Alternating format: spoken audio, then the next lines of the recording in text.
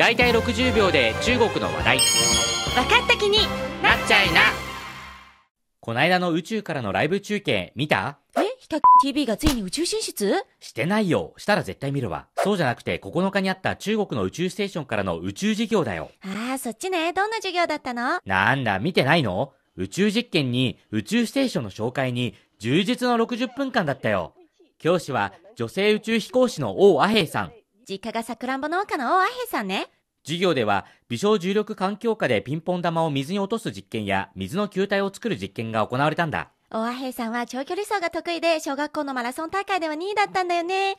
宇宙ステーションと北京などの会場が中継でつなげられて1400人以上が授業を受けたんだよ王阿平さんは2006年に結婚してから6年間も遠距離が続いたんだよ。パイロット同士の結婚だから仕方がないんだろうけど。さっきから豆知識が多いな。えだって2度も宇宙に上がって授業もして憧れの女性だもん。ねえ本当は宇宙授業を見てたでしょ。え？小学5年生までずっとクラスの班長だった王阿平さんの授業を私が？絶対見てたな。今日はここまで。再见